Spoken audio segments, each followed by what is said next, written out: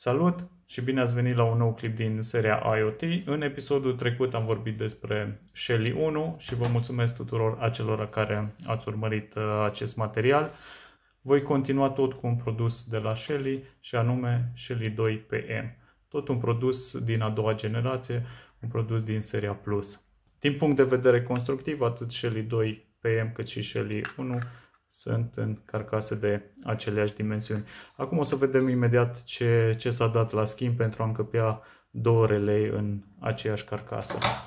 După cum v-am spus și data trecută, aceste module sunt gândite pentru a intra într-o doză de 55. După cum se vede, este destul loc și deasupra poate să vină și o tastă și are destul loc. Ca să vă faceți o idee, tasta este până aici, iar modulul este aici. Da? Deci este destul loc și de conexiuni și o să vedeți imediat și conexiunile.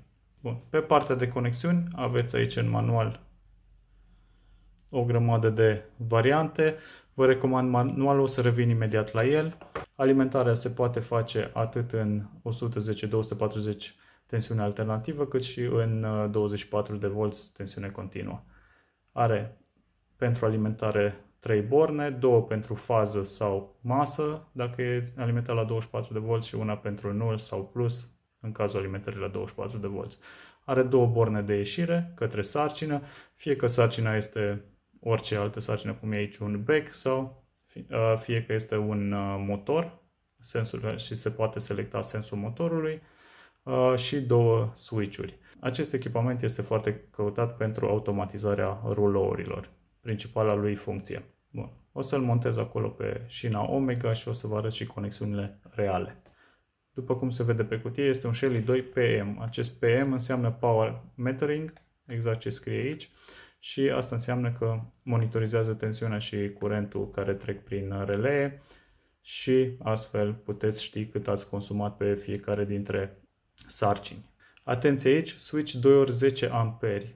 Deci o să vorbim imediat despre asta în manual și, și la momentul în care o să conectez acolo. Conexiuni Wi-Fi, Bluetooth și uh, roller shutter este funcția pentru care este cel mai des căutat. Pe lângă aceste scheme de conectare, manualul conține niște informații pe care ar trebui să le luați în uh, calcul și să le citiți neapărat. Adresa de IP la care vă conectați la access point-ul lui, v-am spus și data trecută, 192.168.331. V-am recomandat să citiți manualul pentru că aici este că este destul de interesantă. Echipamentul are două canale care pot comuta sarcini de până la 10 amperi, însă nu mai mult de 16 amperi în total. Este o chestie pe care trebuie să o luați în calcul. O să mai revin la asta. O altă recomandare de care ar trebui să țineți cont este aceea de a folosi acele așa numite RC Snubber Uh, în momentul în care utilizați acest echipament cu un motor sau o sarcină inductivă.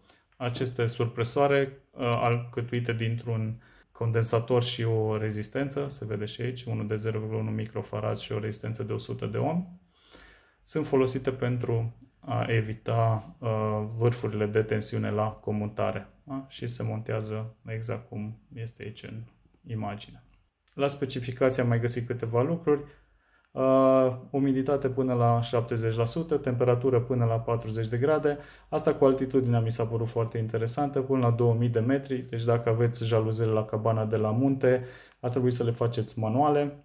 Curentul maxim suportat pe canal 10 A, dar curentul maxim total 16 A. Luați asta în calcul și da, e bazat pe un ESP32 și are și funcție de MQTT. În concluzie, citiți și manualul, sunt lucruri importante acolo. Bun. Acum am să instalez modulul aici pe șina DIN și am să vă arăt și conexiunile reale imediat.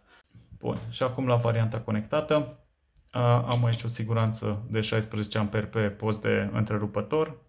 Am trei siguranțe despre care o să vă povestesc imediat, de protejarea circuitelor. În primul rând, nulul este dat în aparat și la cele două sarcini. Faza de aici din siguranță am trecut-o printr-o siguranță fuzibilă și intră aici la L. L-ul având două borde, nu mai am nevoie de o clemă de conexiuni și am ieșit cu L, L-ul acesta și am intrat în taste. Da? Din taste ies și intru pe S1 și pe S2. Am aici două taste.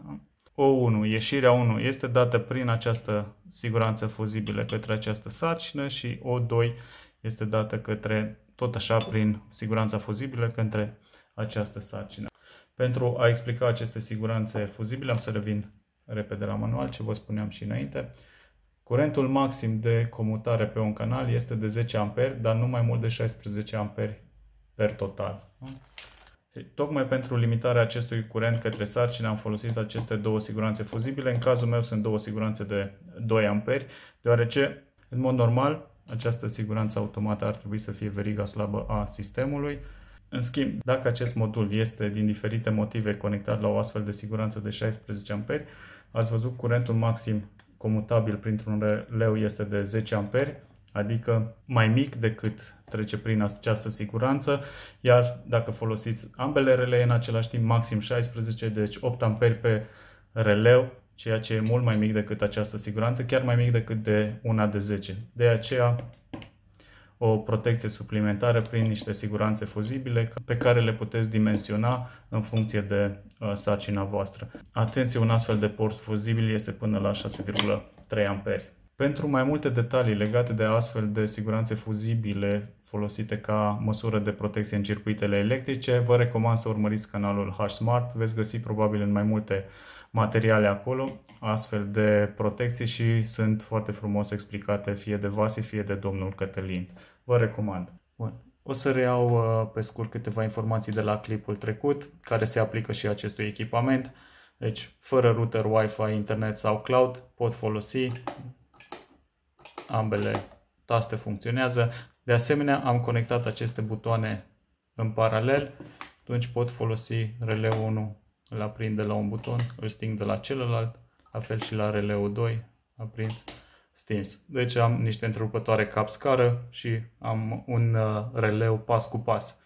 De asemenea și întrerupător cu temporizare, deși nu este conectat la Wi-Fi sau internet sau cloud. Da? După 5 secunde s-a oprit.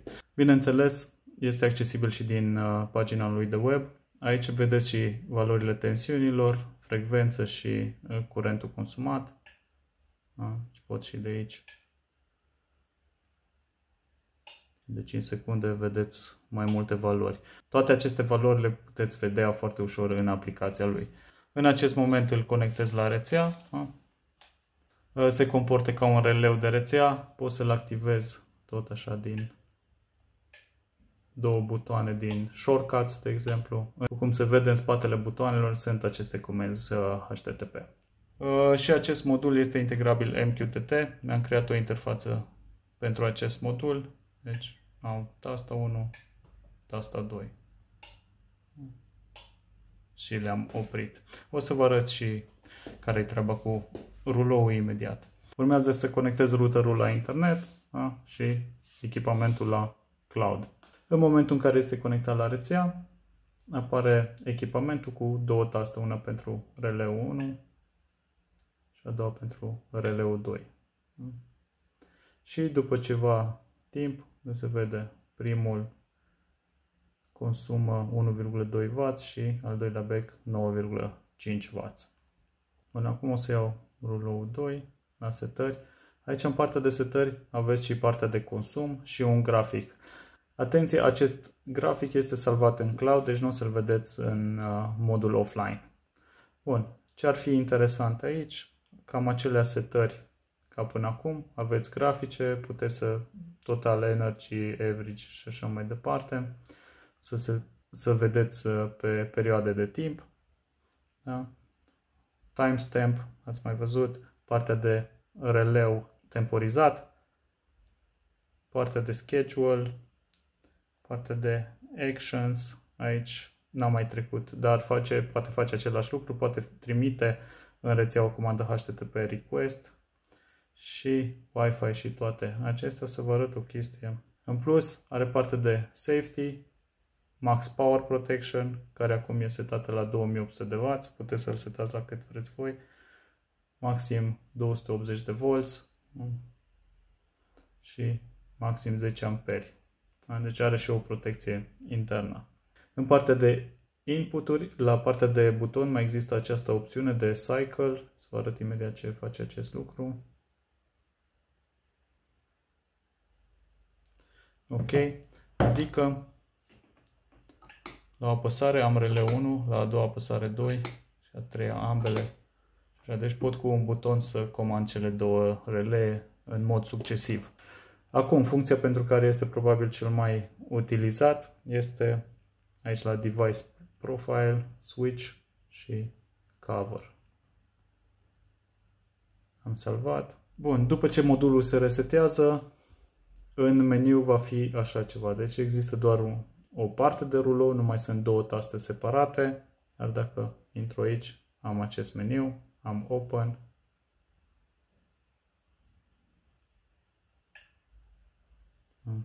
pornește, se deschide jaluzeaua, să zicem, pot să opresc,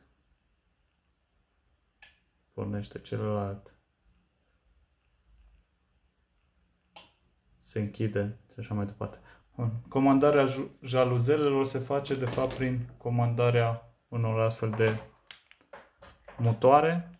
Asta este un motor de la uh, Sonfi. L-am cumpărat second hand, din păcate nu merge cum trebuie. Astea, astea sunt conexiunile și de test am mai cumpărat unul care este nou, este de la Julius Mayer. Da, asta are 4 fire de conexiune, asta pe 3 și cu acest modul pot comanda aceste jaluzele prin intermediul uh, acestei aplicații. Pentru că este seria PM și are, uh, recunoaște consumul, are o opțiune de autoreglaj. Pentru aceste două echipamente țin să le mulțumesc acelora dintre voi care ați susținut canalul prin achiziționarea unor servere de smart home. Aici sunt banii voștri. Partea de comandă propriu-zisă a motoarelor rămâne ca un subiect pentru un material viitor. În schimb, vreau să simulez uh, acest lucru cu aceste două sarcini. Am schimbat becurile, după cum se vede, sunt uh, două becuri de 100. Am să le izolez puțin să nu facă atâta lumină. Și înainte de a face câteva teste, vreau să vă arăt încă câteva setări utile pe partea de uh, comandă a ruloului.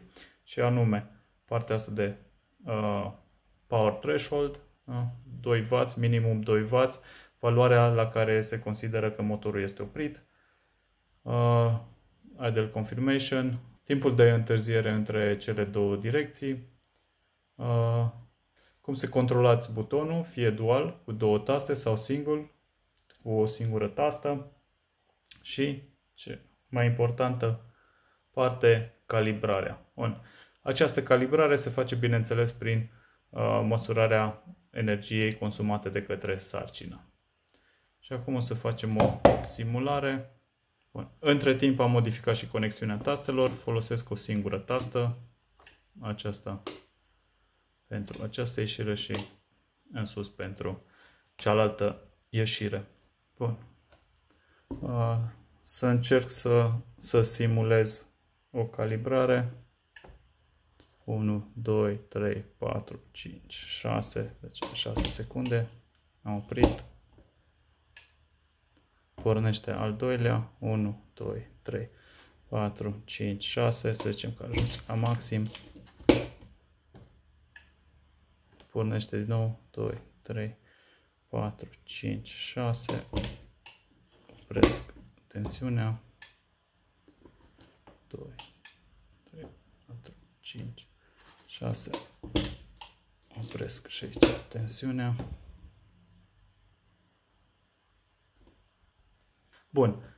După calibrare o să am și acest slider în meniu, ceea ce înseamnă să spunem că deschid ruloul la, nu știu cât are, 74%. Da, ar trebui să aibă 74% din timpul setat. Bun, și acum să zic că dau puțin mai jos. Un impuls foarte scurt pentru că acum este la 63% să zicem că mai scad 40%. Deci, iar un impuls de coborâre. Teoretic este un procent din uh, valoarea totală a timpului pe care l-a calculat la calibrare. Asta ca o variantă de simulare a acestui uh, lucru. În clipul următor vom face partea reală cu motoare efective. Bun, în acest moment pot să folosesc și tasta. După cum se vede, se actualizează dacă țin aici câteva secunde. În acest moment s-a actualizat. Să zicem să-l închidem mai mult. Și am ajuns la această valoare. Și acum, încă o chestie, vă spuneam la început că am să revin la această interfață. După cum se vede aici, 85%, arată și aici 85%. Hai să zic că le ridic la undeva aici, nu știu cât sunt. 14% și aici la fel 14% s-a actualizat. Deci pot să le comand fără probleme din uh, interfața de smartphone. Da? Ne dăm ceva mai jos. Sunt la 46% și se va face și s-a făcut și aici actualizarea. Bun, la fel și de aici, dacă le... A, 80%. Da, se vede s-a actualizat și în interfața. Și acum să încerc și cu tasta. Deci chiar de la tastă am aici 65%, 65%. Hai să încercăm să ridicăm puțin.